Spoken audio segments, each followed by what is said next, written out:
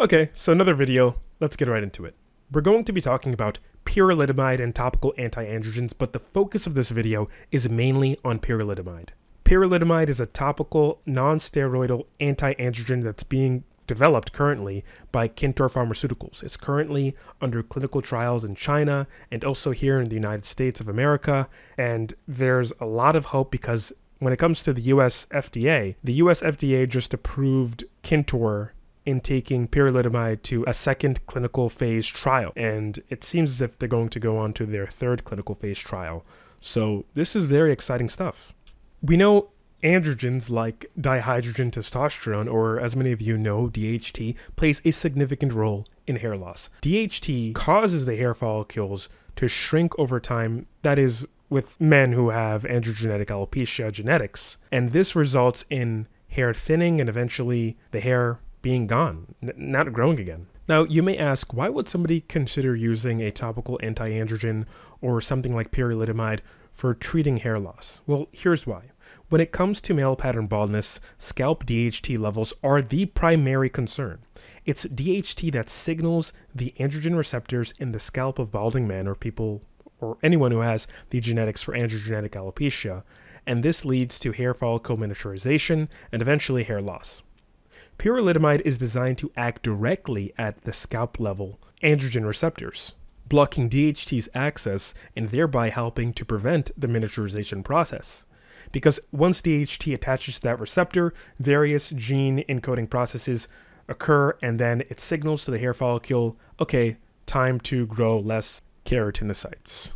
Furthermore, when combined with oral medications like finasteride and dutasteride, which work to decrease overall DHT levels in the body and also the scalp, pyrilutamide provides a localized, targeted treatment that complements these systemic treatments, like I mentioned before, being finasteride and dutasteride.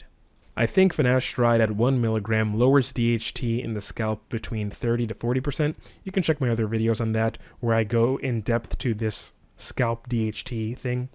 But when it comes to dutasteride, it lowers DHT in the scalp starting at 0.5 milligrams. It lowers DHT in the scalp by 51%. And when you go to as high as 2.5 milligrams a dose for dutasteride, you can crush DHT in your scalp by by upwards to 80%. And some men might need to do that because they probably have severe hair loss.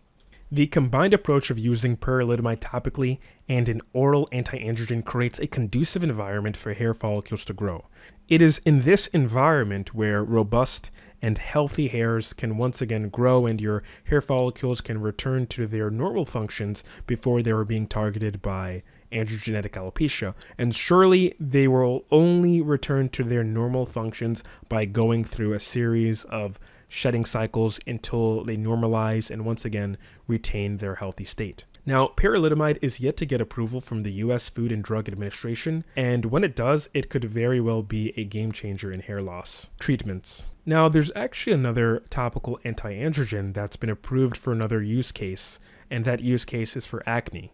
The acne medication Winlevi uses clascoterone, which is a topical anti-androgen to decrease acne. That is the active ingredient. But also there's this company called Cassiopea which is trying to make this product called Breezula, which will contain this clascoterone at a different concentration and be directed to the scalp in order to provide that anti-androgenic effect, which can help promote the hair follicles to grow. Now, this company is also in the FDA approval process. However, when comparing pyrilutamide to clascoterone, we see some key differences. While both medications act as antagonists to the androgen receptor, clascoterone is a steroidal anti-androgen and pyrilutamide is a non-steroidal anti-androgen. But what is more important is that pyrilutamide is noted for it being more potent when it comes to its anti-androgenic activity and also it seems to have a low risk of systemic side effects but again they still have to go through the clinical trials there's another option that many of you probably aren't familiar with but it's been approved in Eastern European countries, and this is Fluridil. Fluridil is a less potent form of a topical anti-androgen like pyrilutamide, and also Fluridil has a very unique attribute and that is it undergoes hydrolysis when it comes in contact with water. So this means it has virtually no systemic absorption because it breaks down very rapidly in the presence of anything that has water in it. This being blood itself, which if you if you don't know, has a lot of water in it pretty much. So this makes it a safe option that you can probably get right now. It is approved in the FDA variant of some Eastern European countries. However, due to this property of it being susceptible to hydrolysis and breaking down very fast in the presence of water, it's important that Fluridil is applied to a completely dry scalp to ensure its effectiveness. But again, it's not as potent and as powerful as pyrilutamide because pyrilutamide has a very high affinity and binding to androgen receptors. So once it's attached to your scalp follicle androgen receptors or your scalp androgen receptors, pyrilutamide is going to stay there for for a while and ensure that DHT can't mess with your hair follicles and your follicles can presume growing in a manner that is healthy. Now, as we consider treatment regimens, it's important to note that a combination approach often yields the best results.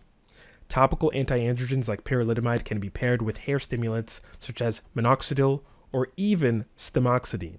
And for those of you who don't remember, let's do a quick explanation.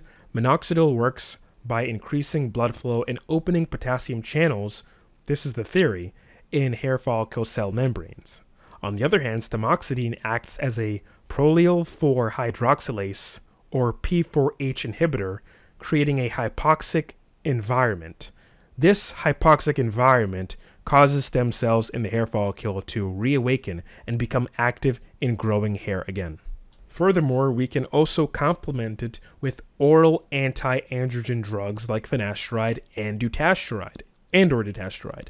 These medications further help to reduce the DHT levels in the body and also the scalp, tackling hair loss from another angle. So in the end, as we await for potential new breakthroughs like pyrilutamide to be approved by China's FDA, because the company that's making pyrilutamide, the pharmaceutical company, Kintor, is based in China, as we wait for that to be approved in China and also the US FDA, because they're currently undergoing clinical trials, Remember that effective treatment of hair loss often involves a multi pronged approach, combining different therapies, each addressing a different aspect of hair loss or androgenetic alopecia, can often provide the best outcomes.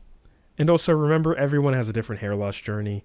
People are using various experimental chemicals like RU58841. People are using other growth stimulants like latanoprost or bimatoprost the active ingredients that you find in Latisse that women and men also use to grow their eyelashes. So there's just so many ways you can go about doing it, but there are probably healthier ways and less risky ways of doing things. So always remember to, what do I say in these videos nowadays? To contact your doctor. Okay? I'm just a guy that has a computer and a mic who also graduated recently but I'm looking to get into scientific research, um, complete a bioinformatics path, and actually contribute to this space because it's super, super interesting and I just want to contribute. So thanks for watching, guys, and I'll see you in the next one. Peace out.